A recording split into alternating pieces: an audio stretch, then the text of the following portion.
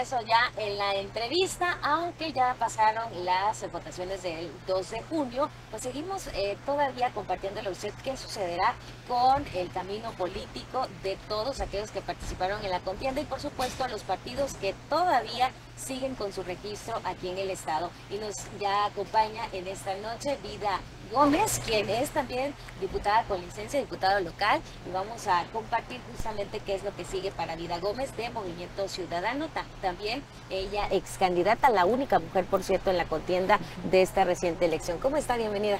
Muy bien, muchas gracias. Todavía con energía porque el proceso ha seguido la parte de los cómputos en los distritos, en los municipios y he estado dándole seguimiento con el equipo jurídico electoral, acompañando a quienes fueron nuestros candidatos y candidatas en esta última etapa porque el equipo es fundamental para los logros que tuvimos. Justo se le preguntaba eh, si ya era semana de descanso, pero pues ya viendo y compartiéndome viene de municipios justamente. Así es.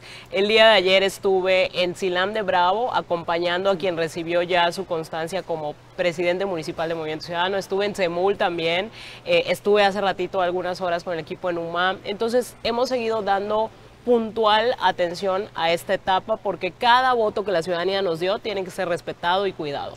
¿Cómo le fue a Movimiento Ciudadano eh, de manera general? Digo, más allá de los resultados ya preliminares, pero eh, fue evidente que ganaron simpatizantes en esta contienda. Totalmente. Movimiento Ciudadano en el proceso electoral fue la única fuerza política que no hizo alianzas que eh, pusimos candidatas y candidatos en todas las boletas y en todas nos fue muy bien.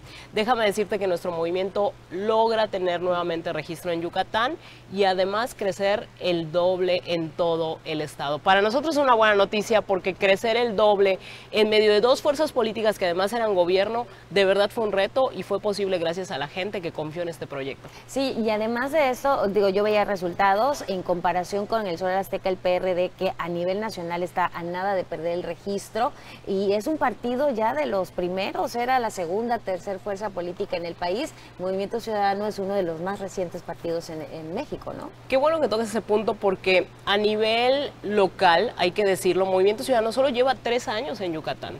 Y en tres años logramos, primero que en el 2021 lograr el registro y ahora consolidarnos ya como fuerza política, seremos la oposición al gobierno porque todos los demás partidos compitieron en alianzas. Así que la única oposición que además la gente decidió que fuera oposición fue Movimiento Ciudadano y por eso estamos tan contentos. Vemos también que en el escenario local varios partidos perderán registro ahora que terminen los cómputos y que la gente decidió que Movimiento Ciudadano siga estoy segurísima porque lo ha dicho la gente que hicimos una gran campaña y además es el único proyecto con personas nuevas en todo el estado. Gerardo Campo mencionábamos que fue también la revelación de, de esta contienda, ¿no? Al principio nos decían, ¿por qué ponen a tantas personas jóvenes? Mafer Arceo, Larisa, Rodrigo Vázquez, en el sur de Yucatán, Jessica González, todas son personas jóvenes, el propio Gerardo, y nos decían, están haciendo en Movimiento Ciudadano cosas que no les va a dar resultado, van a perder el registro.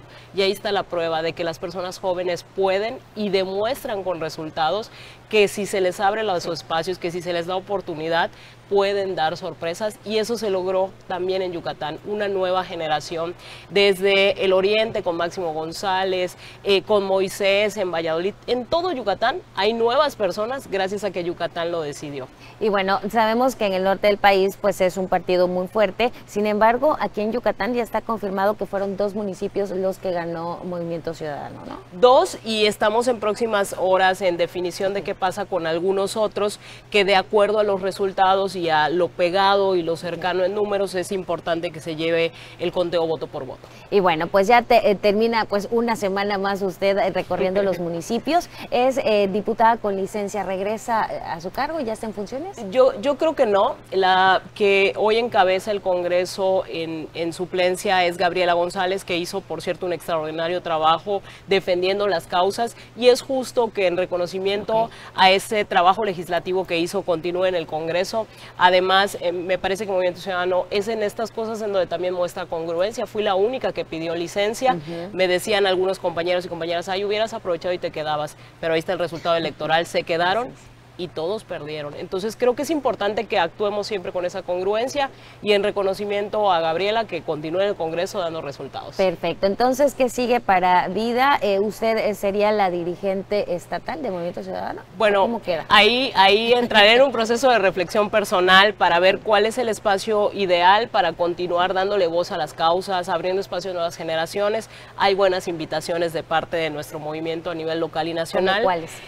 Hay varias, hay varias, pero, pero quiero ahora sí que tomar un tiempo después, apenas terminen todo, toda esta etapa y, una etapa también de agradecimiento porque iré a agradecer a todos los equipos. Después de eso, un pequeño break y, y después tomamos una decisión de hacia dónde vamos, pero pueden tener la certeza que será tener voz y será, por supuesto, defender lo que creímos y lo que hicimos y construimos juntas y juntos en este proceso electoral. En, en otras entrevistas anteriores yo le he preguntado acerca de sus iniciativas, estas propuestas que ha hecho usted. Obviamente al, al pedir licencia quedaron pendientes, pero su suplente le dará seguimiento a estas iniciativas. Le ha seguido dando eh, voz y también eh, han habido varias votaciones eh, de, a distintos cargos después de que pedí licencia y ella ha mantenido esa congruencia ah, y lo celebro mucho porque ha sido una diputada productiva, a pesar de que el, proceso electoral hizo que el Congreso sesionara con, ahora sí que pasaron de una semana a 15 días, pues ella ha estado ahí pendiente, asistiendo, sin faltar a comisiones, proponiendo, y creo que de eso se trata, que los espacios que la ciudadanía nos otorga, se les entregue buenos resultados. Bueno, es importante mencionar, digo, no porque ya haya terminado la contienda, ustedes quedan eh, sin hacer nada. O sea, quiere decir que usted va a seguir trabajando, obviamente, en temas políticos o se enfocará a otras cosas. Sí, sigue insistiendo. Sí, porque mira, la ciudadanía decidió que Movimiento Ciudadano este, eh, con Nayel y con Mariana más de 65 mil votos en el Senado. Entonces, por supuesto que tengo que estar en el ámbito político. Tengo preguntas de verdad en todas mis redes sociales de qué sigue, dónde vas a estar, qué vas a hacer. Eh, bueno, la respuesta contundente es que voy a seguir trabajando por las causas y voy a seguir, por supuesto, teniendo una voz muy fuerte para que también las autoridades electas cumplan porque el plan y la agenda que tenemos para Yucatán es indispensable que se realice. Así que voy a estar dando seguimiento, acompañando también a nuestras autoridades ganadoras a que tengan la contundencia y la fuerza necesaria, porque necesitan tanto que el gobierno federal como el gobierno estatal apoyen a los municipios sin tintes partidistas. Hay que cumplirle a la gente. Eso le iba a preguntar, ¿usted qué juego tiene con los dos que ganaron esta contienda? De total apoyo y de total respaldo eh, para tocar esas puertas, para ayudarles a que se le cumpla a la gente y sobre todo también como movimiento, siempre lo he dicho, eh, no consentimos a nadie. Al contrario, lo que queremos es que cada espacio que logramos obtener se den buenos resultados y también estaré muy vigilante de que esos resultados se den en ambos. Yo empecé mi campaña en el municipio de Chilán de Bravo con los pescadores y es justo el municipio que, que logramos ganar en esta contienda, así que por supuesto que también estaré muchas veces acompañando acompañando en Silam a nuestro nuevo alcalde. Eh, uno de, estos municipios es Zemul, que fue reelección. Se reelige y además se reelige con más votos de los que tuvimos la elección pasada. Eso es interesante porque 22 municipios, de acuerdo a como estaba hace algunas horas los cómputos, no se lograron reelegir. Willy Flota, nuestro alcalde de Zemul, logra reelegirse, pero no solo eso, con muchos más, no crees que uno o dos, más de 300 votos de diferencia de personas que salieron convencidas a decir mi alcalde me cumplió, así que voy a refrendarlo en el cargo. Perfecto, nos queda ya un minuto, entonces... Eh, pues, ¿qué aprendió durante esta contienda? Decía yo que fue la única mujer, la más joven, y, fue, y ha sido una campaña sumamente interesante para las mujeres en el país. Aprendimos que los espacios están puestos para que una ciudadanía que está dispuesta a escuchar, este proceso electoral nos mostró la importancia de los debates, que la gente sí quiere escuchar propuestas, sí quiere nuevos perfiles. Y déjame decirte que Movimiento Ciudadano hizo una campaña muy diferente. No gastamos los millones de pesos que los partidos tradicionales le metieron a la campaña con publicidad por todos lados, saturando a la gente. Movimiento Ciudadano le apostó a nuevas formas también de hacer campaña, sin simulación de contacto todo directo y dio resultado. Perfecto, pues le agradecemos mucho, ya la estaremos viendo y ojalá nos dé la primicia entonces de lo que sucederá con Vida Gómez en próximos meses. Cuenta con ello, aquí estaré para platicártelo. Perfecto, Vida Gómez Herrera de Movimiento Ciudadano. Hacemos una pausa, regresamos con más en Noti 13 de la noche. Muchas gracias. Gracias.